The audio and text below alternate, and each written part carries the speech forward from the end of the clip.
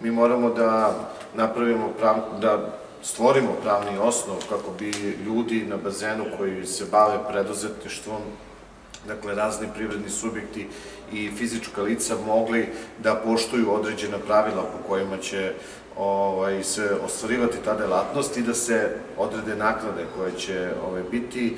A, mislim da su bile naknade vezane za ležaljke, vezane za frižidere i zamrzivače za sladoled, tako nešto. Ovaj, sa jedne strane tu stvaramo još jedan a, priliv sredstava gradu Pirotu, a sa druge strane moramo da budemo pažljivi, da ne demotivišemo privrednu aktivnost raznih privrednih subjekata na tom bazenu.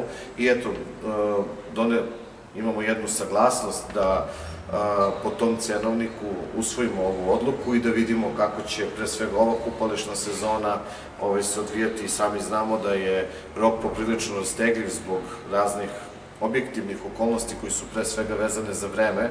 Nama je potrebno, kao što je gradonačelnik pre neki dan rekao, sedam suvih dana bez kiše kako bi se uradila hidroizolacija na bazenu. Dakle, ako se sve to završi na vreme, tamo nekad 15. augusta krene e, gradski, gradsko kupalište sa radom, da stvorimo i tim ljudima koji su zakupci ovaj, raznih stvari tamo osnov za rad.